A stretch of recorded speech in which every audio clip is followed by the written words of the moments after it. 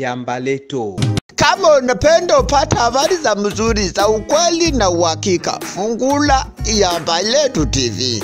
Usikose kusubscribe pia kulaki na kukomenti Iyamba Letu DC kwa ajili yako. Ni mara nyingine mpenzi mtazamaji, nikikualika kuungana nasi katika habari mbichi toka mashariki mwa Jamhuri ya Kidemokrasia ya Kongo. Huko mkoani Kivu Kaskazini ni kwamba wapiganaji wa M23 katika maeneo ya Ruchuru wameanza kukamata vijana na kuwaingiza kimabavu katika jeshi, wakiwapa silaha ili wapate kuwasaidia vita dhidi ya wazalendo. Wazalendo wamekuwa na moto mwingi ambao umeanza kutetemesha na kuogopesha hata nchi ya Rwanda.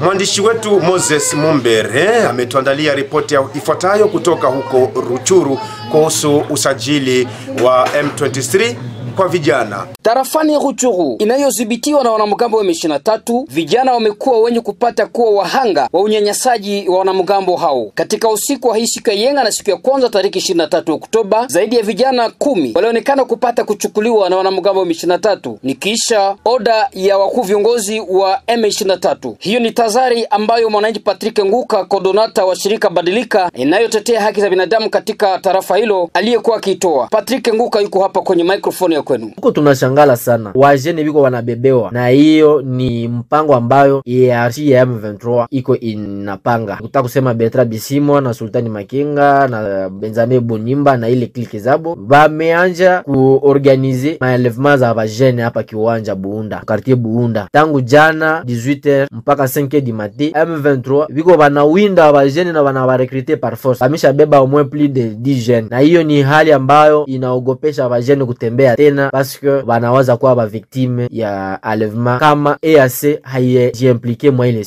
Mwanaharakati huyo wa haki za binadamu anatoa mwito kwa government ya Kongo ya Kidemokrasia kupata kutumika vikamilifu ili kuokoa maeneo hizo chini ya mikono ya M23 ambayo imekuwa kama uwanja ya mauaji. Sie tuko tunaomba kwa EAC iweze kufasilite liberation ya, ya bale batu na iweze kujiimplike watu wengine tena basiweze kubebewa. Tuko tunaita kwa government vraiment, na tunashangala tena government sasa tuachililie inatutupilia na imefanya yetu ya Ruchuru na Masisi kukuwa fasi kwenye watu viko wanachinjiwa. Pourquoi tunademande guvernema iweze kuleta amani ya kudumu. Tukumbusha kwamba wanamgambo wa M23 ambao wanafuatiliwa vikamilifu na wazalendo wanakwenye kupata kupambana na vijana katika maeneo hizo, hata pia wanafunzi ambao wamekuwa wahanga wa wanamgambo hao wa M23 katika maeneo ambayo wanayoyadhibiti. Nikiripoti kutoka Goma, Moses Mumbere kwa niaba ya Radio Iyamba Letu TV pa Bukavu.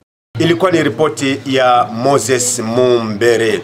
Lakini kwa sasa zikiwa zimeenea siku karibuni sita, waasi wa M23 wakiwa katika mji wa Kichanga, tumezungumza na mwenzetu Felix Bahume Hangi kuzungumzia uh, nguvu za wazalendo kwa sasa katika vita hivyo dhidi ya M23. Felix Balume Hangi njiani mwa simu anazungumza nasi kutoka Masisi. Felix Balume Hangi, ujambo na karibu hapa. Ujambo mwandishi wa habari. Muda na wakati kama huu tunazungumza nao ukiwa wapi? Kwa sasa napatikana eneo za Masisi. Hebu tueleze kinachoendelea katika mji wa Kichanga kwa sasa. Wanani wanaudhibiti mji huo? Ni kwamba wa wapiganaji wa M23 wangali wanadhibiti eneo za Kichanga. Ni tangu juzi ndipo waliweza kuasili ndani ya mji huo. Ilikuwa ni kisha mapambano kabisa ya vuta ni kuvuti kwa risasi kubwa na ndogo ambayo iliripotiwa eneo kama na hizo za Kichanga, Kaveni na huko Kahe ni senta ya hapo eh, Kichanga ndani ya usultani Bashali. Na vipi wazalendo sasa ambao walikuwa wakipigana na na M23?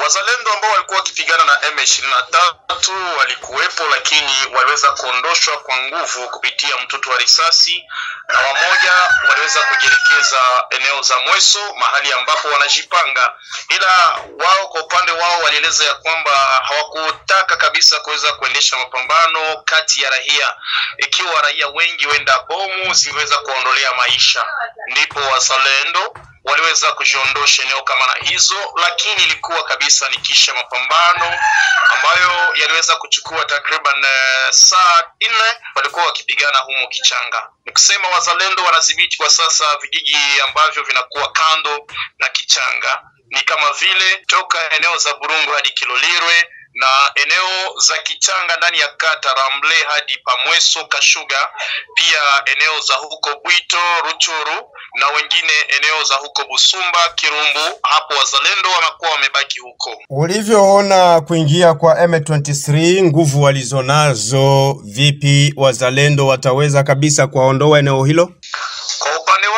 Kabisa, ingali ni mapambano, siyo game ama mchezo ya mpira, ikiwa watu wanashuhudia na kupiga mikono ama vigelegele, lakini ikiwa kwa sasa kweli kweli, kwa utazamo wangu, wazalendo watakuja tu kunyakua ushindi, kwani ni wengi wameshipanga kabisa kwa ajili ya kuokoa nchi na kuokoa uh, vijiji tofauti kama vile Ruchuru na Masisi, isipokuwa tu hali kama na hiyo, ila eneo tofauti za huko Ruchuru tayari zimegombolewa kama vile vijiji tofauti huko Tongo na Kabizo, ambapo kwelikweli kweli wazalendo wamedhibiti kisha mapambano kati yao na wapiganaji wa M23, na huko Kichanga tayari matumaini yaripotiwa ikiwa kwelikweli kweli wazalendo kwenye vijiji tofauti wameweza kuidadisha idadi nyingi yao, ambao mara tena wanasema siku kidogo ndani ya wiki kama na hii watakuwa wameokoa kwelikweli kweli kijiji cha huko Kichanga. Wananchi wa Kichanga kwa sasa wako wapi? Wananchi wa Kichanga wamoja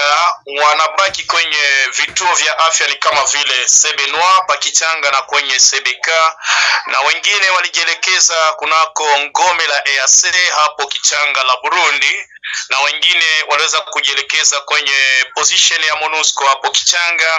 Baadhi ya raia wengi walijielekeza kwenye mashule na wengine pamweso Kashuga, mahali ambapo wanazani wenda kunakuwa usalama kwa sasa. Na ah, baadhi ya wazalendo walikuwa wakilaumu vikosi vya kikanda vya East Africa Community wakisema kwamba wanacheza karata pande na upande mwingine, ina maana wakiwa wanasaidiana na M23. Ili unalidadisije?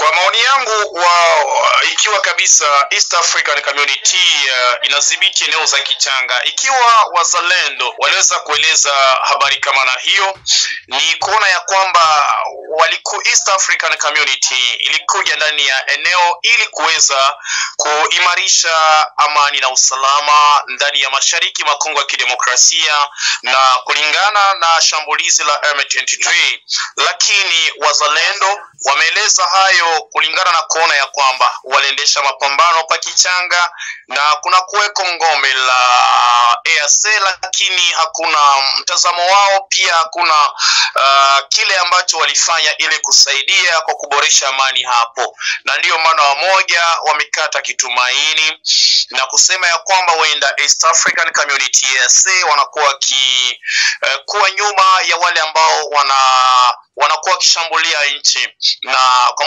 kwa matazamo yangu naona ya kwamba hiyo ndiyo walifikiria wazalendo, ikiwa eneo za Kichanga, eneo za huko Burungu, Kilolirwe kunakuwa EAC Burundi, lakini wakati ya mapambano wanabaki waki, wakifunga mikono. Wenda hiyo inakuwa ni picha ambayo imeonyesha ya kwamba wanakuwa nyuma ya M23 kuliko kuunga mkono kosi la kijeshi ambazo zinapigana ili kuweza kuimarisha amani na usalama mashariki mwa Kongo ya Kidemokrasia. Ndugu mpashaji habari, Felix Balume Angi, tunakushukuru kwa muda wako na karibu wakati mwingine. shukrani. Nami nakushukuru mwandishi wa habari, Kila la heri kwako. salama. Shukran kabisa Felix Bahumehangi. Ni kwa mahojiano hayo ndipo kabisa tunakamilisha taarifa hii kutoka hapa Iambalieto TV. Tony Kamambili alikuwa upande wa kamera, Bitunza Rusia, Bernadette Mama Uria na Mapendo Mfalme alikuwa kwenye usukani wa udereva na kwenye upishi huko. Mimi ni Thompson Unjibata Ngalwa William, tukutane tena hapo baadaye na kuletea habari za Uvira sasa huko ambako kuna kitimtimu, kuna kitu ambacho kinazidi kuwaka huko, ujio wa waziri. Bye bye.